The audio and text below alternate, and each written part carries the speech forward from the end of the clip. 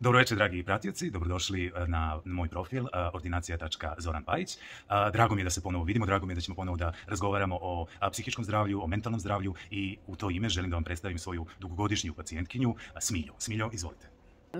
Dobro večer, presrećna sam što sam naišla na doktora ovaj, Zorana Pajića.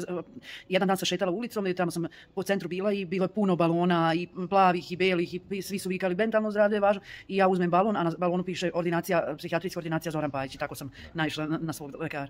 Dakle, Smilja niti je jela, niti je pila.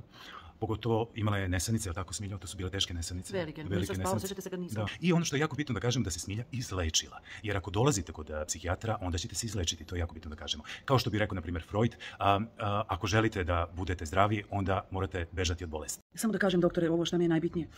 mene je jako hrabrilo, imate na Instagramu kod doktora Zorana Pajića sve njegove pacijente, slike svih njegovih pacijenata i ispod sve njihove priče. Meni se to dopada što, što doktor sve što priča sa pacijentima, sve je ispričao. Kako se zvala ona vaša pacijentkinja? A, Smilja mislite na Živko? E da, ona, ona žena što je puno jela. Jeste, ona je, ona je jako puno jela i ona je zaista jela po ceo dan i celu noć i onda je otišla u Pariz. I u Parizu je prestala nekako da jede, ali to je upravo zbog toga što je ona otišla u, grad, u grad svetlosti. Znate, kada ste negdje gdje je lepo, gdje vam je, gdje vam je svetlost oko vas, onda manje jedete. I, i upravo to je Jung, ja mislim da je rekao, a ovaj, svetlost leči one koje, koji mogu da vide tu svetlost. Jer mentalno zdravlje je ipak zdravlje. Vidimo se na mojim profilima, uh, sub, uh, subscribe, share